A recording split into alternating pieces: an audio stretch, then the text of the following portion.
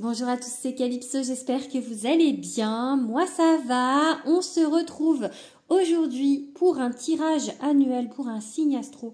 Donc c'est euh, le bélier euh, aujourd'hui dont je vais parler. Donc si vous êtes bélier en signe solaire, en ascendant ou en signe lunaire, je, vous pouvez rester sur cette vidéo. Euh, même si vous l'êtes pas, hein, si vous êtes curieux de voir ce qui se passe pour les béliers, vous pouvez rester aussi. Euh, on m'a demandé il n'y a pas longtemps de faire, euh, de refaire les signes parce que ça fait, j'avais pas eu, j'ai pas eu de, beaucoup de temps pour moi. Là, donc je m'y remets. Je vais faire ce qui manque pour l'année 2024. Je vais essayer de le faire avant la fin du mois de décembre. Voilà. Je voulais vous demander aussi, bien évidemment, euh, si mon contenu vous intéresse, de vous abonner à ce que je fais, à ma chaîne, et de commenter, etc., etc. Voilà. Et pour, euh, pour les tirages privés, vous pouvez me contacter.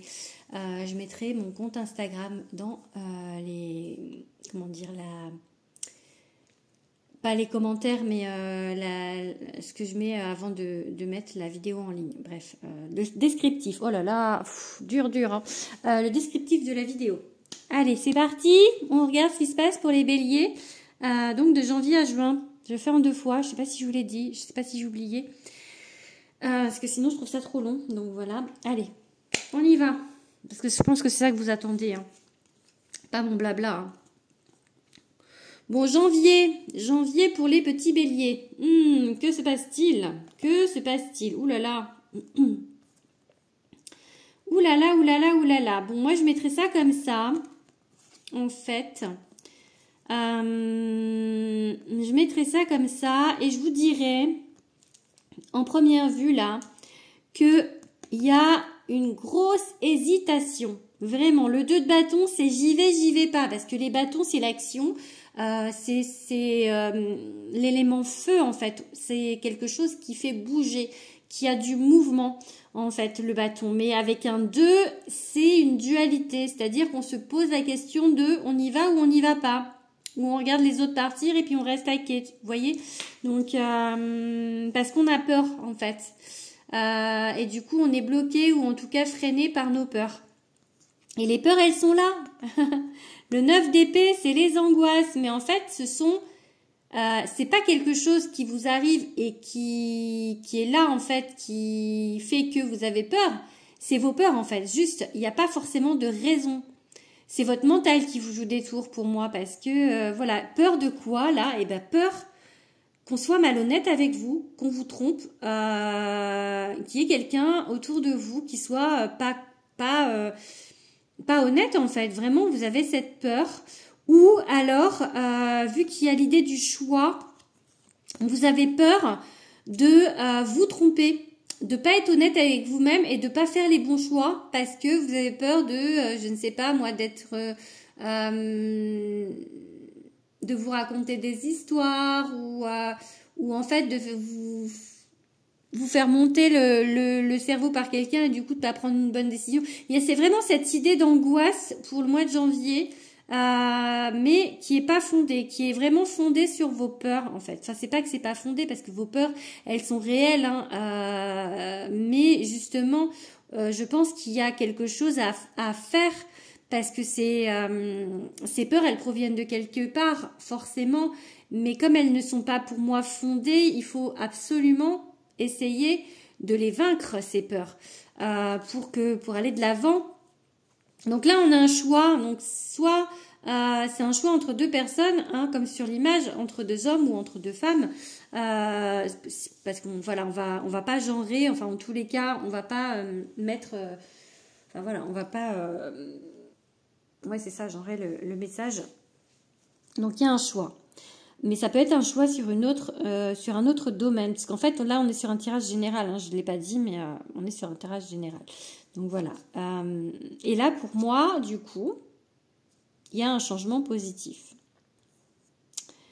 Donc on va avoir une éclaircie. Le bout du chemin. Donc voilà, pour le mois de janvier, du coup, vous n'êtes pas forcément très folichon, hein. vous, êtes un petit peu euh, entre deux eaux, on va dire. Enfin, le cul entre deux chaises. Allez, février. Oula, la météorite, la lune, la roue, ok, la paix et ok. Alors, les pénates, j'ai pas dit. Euh, pour ce mois de février, pour moi, j'ai une idée avec ces deux cartes-là de stabilité parce que la maison, en fait, c'est quelque chose, un refuge, une protection. C'est euh, et c'est stable, ça a des fondations euh, stables une maison en fait du coup. Euh, ce qui fait que avec cette carte de la paix, on retrouve en fait un sentiment peut-être de bien-être, de zénitude, enfin sans aller jusque là vu les autres cartes, mais il va y avoir en tout cas la roue qui tourne et qui euh, va vous faire retrouver un sentiment un peu plus euh, calme. Comme si là ce que ça me dit, euh, c'est qu'il y aura une accalmie, mais pas tout de suite au, mois au début, hein, parce que là en fait, je pense que ce choix que vous ne voulez pas faire, on va vous pousser à le faire parce qu'il est bon pour vous ce choix. En fait, il est bon pour vous parce qu'il va vous ramener de la sérénité. Donc, euh, mais encore une fois, on a la lune.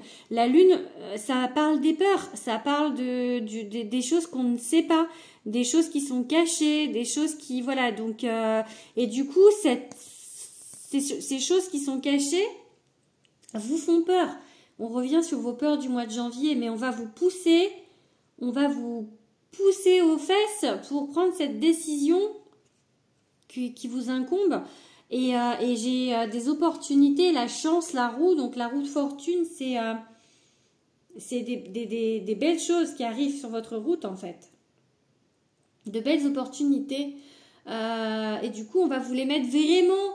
J'ai vraiment cette idée qu'on va vous les mettre sous le nez parce que, parce que comme vous êtes dans, dans cette angoisse, dans cette peur, il faut vraiment vous mettre les choses sous le nez pour que vous les voyez.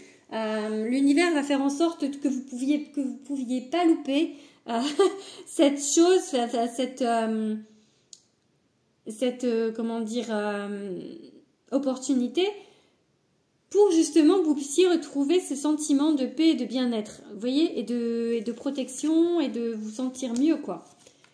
Voilà, allez, on passe au mois de mars. Le mois de mars. Oh, la récolte. Ok, un petit peu euh, retardé la récolte, mais elle est là. Ok, ok, une décision. Ah bah enfin on la prend la décision. Vous voyez, on la prend cette décision. Et on a encore la roue. La roue en fait, enfin la, la roue qui tourne, elle est euh, au mois de février, au mois de mars. Donc en fait on continue. On continue l'histoire. la petite histoire des béliers du, de 2024. Donc il y a toujours cette, euh, ces opportunités qu'on vous met sous le nez pour vous que vous puissiez prendre cette décision parce que vous avez tellement peur qu'il va vraiment falloir en fait euh, qu'il va vraiment falloir vous mettre les choses euh, euh, claires, précises, que vous puissiez pas les manquer. Voilà, il y a une idée de, dans ce mois de mars de reprise de confiance en soi. Peut-être que grâce à cette décision que vous allez prendre, on va vous remettre en fait en selle. C'est ça que j'entends ça se remettre en selle. Donc, euh, et, voilà, reprendre la route. Du coup, quand on est en selle, on reprend la route euh, pour avancer, pour cheminer. Et euh, du coup, en étant plus confiant, en étant plus serein avec vous-même et en vous aimant davantage, en vous, en vous appréciant davantage et en vous acceptant davantage. D'accord? Donc, il y a cette récolte vous voyez, c'est ma carte euh, de mon jeu là, l'oracle de Calypso, récolte abondance automne. Donc vous voyez, si on quand on veut dater, on peut avec mon jeu, mais là c'est pas là c'est au mois de mars, donc euh, donc on va pas s'en servir en datation. Euh, donc là on a une récolte. Maintenant le on a le soleil qui est inversé. Donc je pense que il y a un petit peu de travail, ce qui fait que la récolte elle va être un petit peu retardée parce que le soleil à l'inversé euh, c'est quand même une bonne carte, c'est quand même la joie, le bonheur, le soleil, mais inversé, ça veut dire que c'est un petit peu retardé. Donc là, comme on a la carte de la récolte euh, et le soleil inversé, je dirais que vraiment vous allez avoir des bonnes choses, vous allez récolter des belles choses, mais il faudra un tout petit peu plus de temps que euh, prévu. Allez, on passe au mois d'avril. Ok, ok, ok, ok. On a euh, la pluie d'étoiles filantes qui est inversée. Donc, en fait, il... vous manquez d'espoir. Euh, ou euh, vous dirigez pas forcément comme il faut vos manifestations à l'univers. En tout cas, du coup, il y a un frein avec cette carte à l'envers par rapport à, euh, aux manifestations, par rapport aux souhaits. Mais j'ai pas l'impression que ça vous gêne plus que ça parce que je pense que l'univers va vous filer un sacré coup de main là parce que c'est ça va pas venir de vos intentions. Hein. Ça va venir directement de plus haut. Euh, dans les hautes sphères, on se dit bon bah allez, le bélier là, euh, il nous casse un peu les bonbons. on va s'occuper de lui parce que hum, parce qu'en fait, il est encore un petit peu pessimiste. Donc on va s'occuper de lui. On va lui faire quoi ce bélier? On va lui faire quoi? Eh bien écoutez, j'ai un 2 de coupe. Alors le 2, comme je vous ai parlé, c'est une histoire de choix. Et là, on est plutôt dans l'émotionnel. Ça peut être euh, un super beau lien, parce que regardez, cette carte, elle est quand même hyper magnifique et hyper parlante. Un super beau lien d'âme qu'on vous met sur votre route. En tout cas, on est dans le relationnel pour moi. Quelque chose qui va être hyper bénéfique puisqu'on a un 6 de bâton et un 6 de bâton, encore une fois, le bâton, c'est le mouvement, l'action. Et là, en fait, c'est... Euh, on reçoit euh, vraiment les éloges, euh, on récolte vraiment, en fait, et on est encore dans cette récolte. Hein, parce que là, on, récolte les honneurs. Donc, je pense que vous avez travaillé, même si vous n'y croyez pas du tout avec cette carte-là que j'ai mis là. Et du coup, l'univers, en fait, vous met quand même sur votre route des belles choses. Il y a le départ. Alors, soit pour certains, euh, vous allez devoir bouger pour arriver à, voir cette personne. Peut-être qu'elle est loin de vous. Donc, je vous vois en fait peut-être prendre l'avion ou un autre moyen de transport pour aller rejoindre cette personne. D'accord? Ou euh, on peut parler avec le départ, juste si on prend le mot et sans, sans prendre le côté voyage. Euh, et comme c'est la carte numéro 1, pour moi, on peut parler de commencement de départ. Donc je pense que la que euh, Delphine hein, qui a fait ce jeu n'a pas mis le 1 au hasard. En fait, pour moi, c'est un départ de commencement. Le 1, c'est quelque chose qui qui euh, débute. Donc pour moi, on est sur une nouvelle euh, une nouvelle relation sinon. Ça peut être une nouvelle relation mais que vous bougez quand même pour aller voir la personne, hein. c'est aussi possible. Hein. Ça peut être la personne qui vient à vous aussi. Il y a un déplacement d'un ou de l'autre. Maintenant, on a la carte des pourparlers. Donc, en fait, euh, on, va, on va réussir à trouver un accord. On va réussir à trouver un terrain d'entente. Mais c'est pas sans mal, en fait. Euh, c'est peut-être pour ça que vous avez du mal à y croire, parce que peut-être vous allez vous dire que ça va jamais, vous allez jamais trouver un accord avec cette personne. Euh, mais moi, je pense que si. Donc voilà, je, je pense qu'il y a un accord qui se trouve. Si on part autre chose que du sentimental, ça, en fait, c'est quelque chose, en fait, un choix qui vient du cœur. Donc ça peut être également, euh, par rapport, qui vous ramène quand même la renommée, quelque chose qui commence avec lequel, du coup, on a quand même euh, du mal à se mettre d'accord, ou peut-être un contrat euh, que vous avez du mal à avoir, ou en tout cas que les clauses sont discutées beaucoup avant de se mettre d'accord. Et encore une fois, vous vous y croyez pas du tout, mais ça va se faire. Hein. Donc l'univers là est là pour vous. Hein. Allez, qu'est-ce qu'on a d'autre? Ok, on est du coup au mois d'avril. Bah, au mois d'avril, j'ai envie de vous dire que euh, là, au niveau activité, euh, au niveau opportunité, au niveau sortie, au niveau... Euh, là, on est à, fond la caisse. Hein. surbooké, vous voyez, on est un peu partout. partout à la fois. La table, c'est la carte en fait euh, qui indique euh, bah, les sorties, qui indique euh, le côté social, qui peut indiquer des opportunités aussi, des repas d'affaires, des repas pas seulement forcément d'affaires, étant donné qu'en plus on a la carte Je sens ta peau, qui est la, la carte, je vous laisse lire du coup le mot que je veux pas dire le premier, mais après il y a passion et désir, ok? Donc on est sur quelque chose euh, vraiment qui vous élève, hein, parce qu'on a le gardien du sacré. Maintenant, on a ce 5 de denier.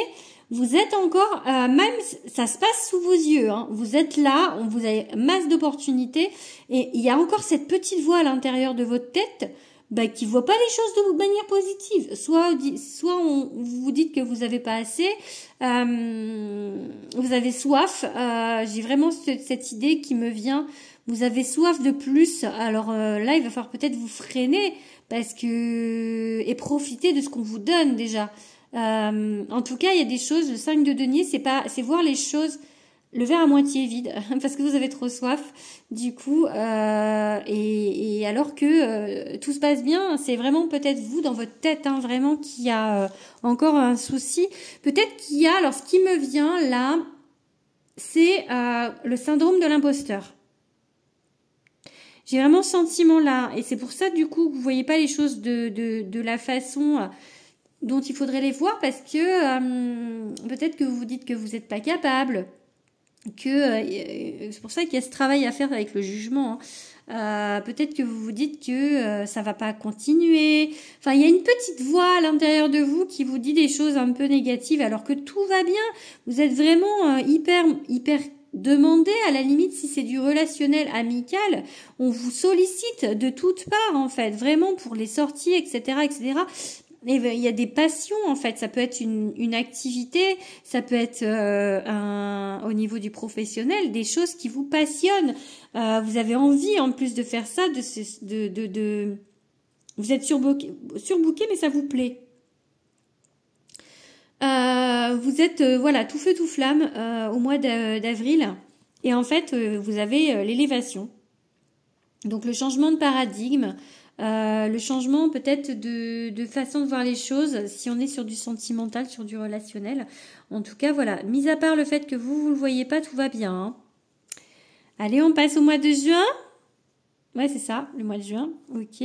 Bah, qu'est-ce que je vais pouvoir vous dire au mois de juin? On a la carte du stop, ce n'est pas par là. La reine de coupe, l'apprentissage, un événement heureux et une union. Donc, euh, peut-être j'ai vraiment encore envie de vous dire que c'est votre tête, ça, hein, parce que à vous dire, mais euh, je me trompe de route, euh, c'est trop beau pour être vrai. C'est là que ça me, ça me dit ça, parce que le reste, là, on est dans l'émotionnel. La reine de coupe, elle est, elle est très émotionnelle en fait. elle est très connectée. En principe, en principe, alors du coup, on doit vous dire d'écouter votre, votre intuition plutôt que votre mental qui vous dit encore des stops en fait, qui vous freine encore. Euh, il y a un apprentissage, donc ça peut être une formation, ou ça peut être une nouvelle façon de voir les choses. Euh, avec cette élévation du mois d'avant, on, vous dit que vous avez appris des choses, vous êtes en train d'apprendre des choses. En tout cas, au mois de juin, vous fêtez quelque chose. Ça peut être, euh, je sais pas, un anniversaire hein, pour certains ou euh, un événement heureux, c'est-à-dire euh, une sortie, une mise en couple, une union, puisqu'on a la carte de l'union, un partenariat aussi, pourquoi pas. Ça peut être un partenariat, en tout cas, en fait quelque chose. On fait une petite victoire pour moi, donc quelque chose qui vous met en joie, qui vous, fait, on fait la fête. Voilà, donc il y a toujours un petit peu dans votre coin de tête, euh, si je fais le, ouais, si je fais la synthèse, euh, il y a qu'au mois de janvier en fait où c'est un petit peu, bah, vos peurs en fait, ça, ça commence par vos peurs. Et en fait elles vous quittent pas vraiment, euh, même si malgré tout on vous met plein de choses belles sur votre route, vous vos peurs sont là, elles restent là. je range mes cartes elle reste là. en fait, il y en fait, je sais pas pourquoi vous aviez ces peurs, en fait. Peu, peu importe, ça dépend de votre histoire, en fait.